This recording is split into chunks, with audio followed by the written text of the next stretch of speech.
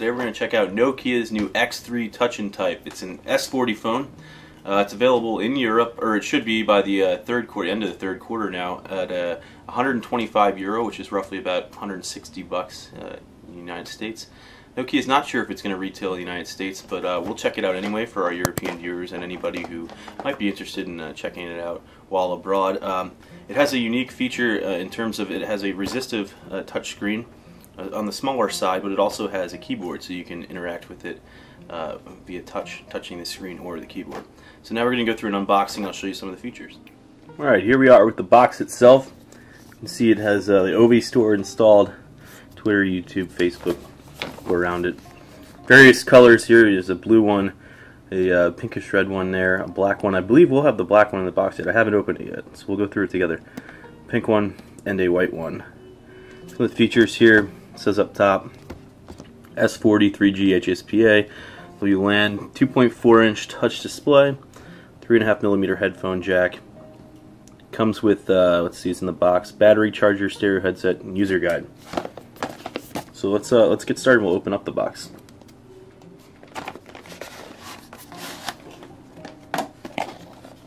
Oh, pink cover. Let's see what we have.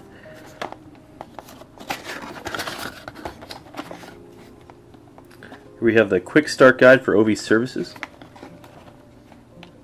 It gets you through the push email, chat, social networking guide.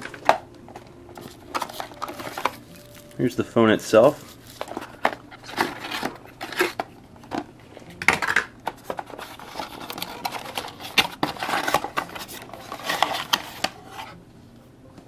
You can see we have the uh, international charger here.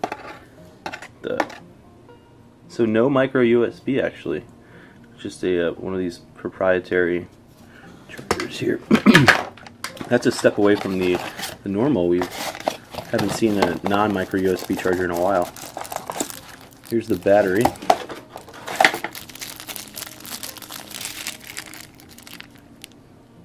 Three point seven volt, eight hundred and sixty milliamp hours.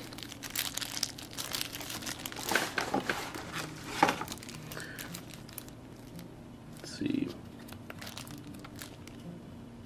Privacy policy. This is the user guide for the phone.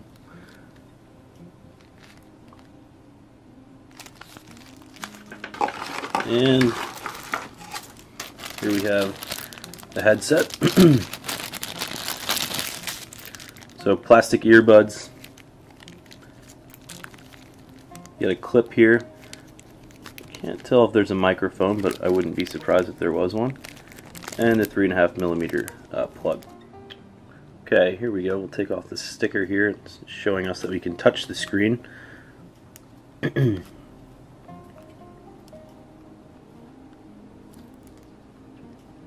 another sticker telling us we can touch the screen. okay, we have a alphanumeric keyboard here, or keypad rather.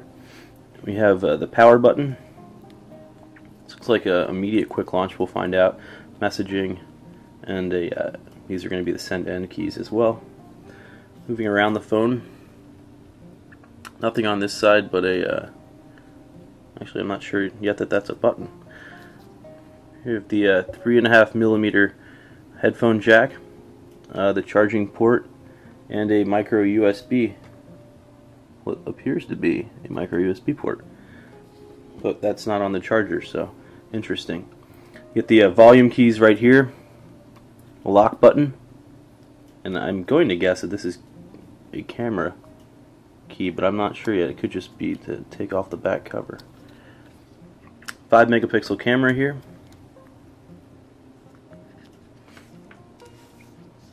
Let's see if we can, uh, yep, Looks like these will be needed to open up the back cover. Okay, so squeezing these two buttons here popped off the back cover for me. Pop in the battery. Here we have a SIM card slot, micro SD card slot, and the spot for the battery itself. Just pop that in. I'll get a SIM card and pop that in in just a second. But as I was uh, as I was going through the top, and I just looked through the guide again, this is a micro USB, I was correct, a charging slot, and so you have the option to charge with a cable if you have one. It doesn't come in the box. or with the uh, this the regular charging uh, uh, dongle or, or, cable that came with the phone.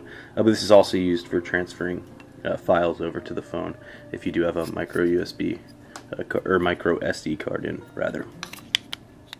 So let's. I'm gonna get a SIM card and pop it in, then we'll get this thing fired up. Alright, now that we've got the phone booted up, let's take a tour of some of its features.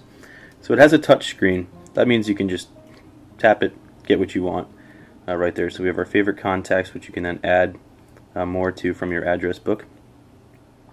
Um, and all of these, if we click the mail account, would open up our mail, which uh, we have not set up yet. Go to the home screen. You have Facebook, a camera, messaging, and the Ovi store down at the bottom. I checked out the Ovi store briefly earlier, and it's not uh, set up yet. It requires an update, but I believe it's the new user interface um, that was just launched recently. Now if we go to menu, can see it's a standard uh, S40 menu here. So you have your calendar, contacts, music, internet messaging, photos, settings, the Ovi store, and apps. Inside apps, you have some of these uh, personal information management tools. So you have your to-do list, your notes, a timer, stopwatch, you know, the basics there. Say my music, even though we have it, you know, just changing around. And we don't want the store there, we want uh, meeting. So this should totally revamp the home screen that we saw earlier. And there you go. So instead of having Facebook and all those down the bottom, we have them in the middle. Web search is Google. And there's also the option to use Bing. And uh, we have the Connect headset for the radio there. And then uh, our customized shortcuts. So we, we changed the music player we snapped in. Speaking of, let's check that out. So standard S40 music player here, very familiar with.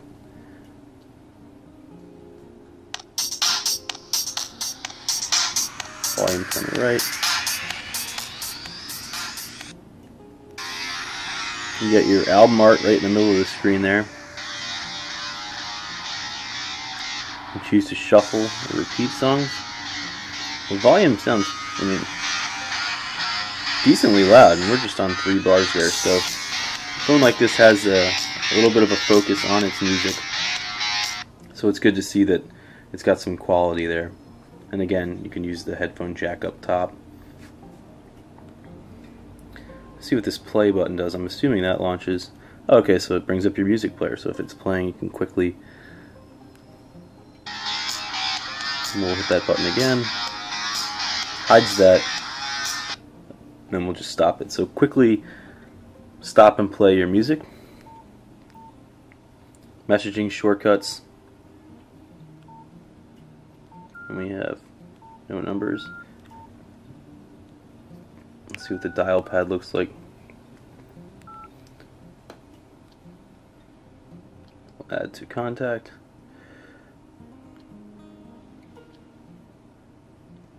Messing around here, general.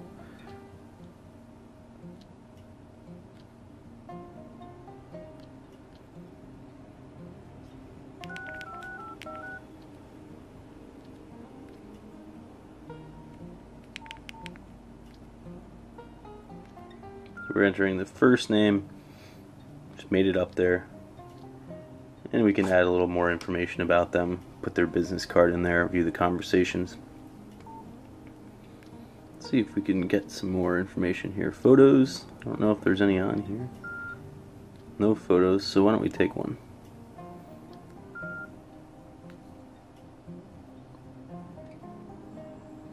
So it's a 5 megapixel camera. Let's see.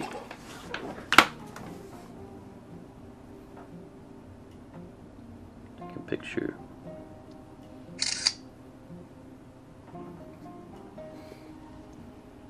Quick there. Bring this back to the screen. See, we have the option then to turn on the uh, video camera for recording, play back the videos that we shot.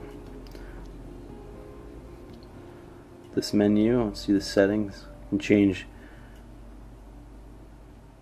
the video storage if it's going to go to the phone memory or to the uh, onto a micro SD card. The quality, camera sounds on or off. Your timer. So pretty basic. Um, but a 5 megapixel camera should give you some good shots uh, depending on the quality of the, the image sensor. Here we have web search. So you would just type right from the home screen, search the web, which we already went over a little bit. Already seen the apps. The Ovi store needs to be updated. Let's see if we can do that this time. It failed earlier for me.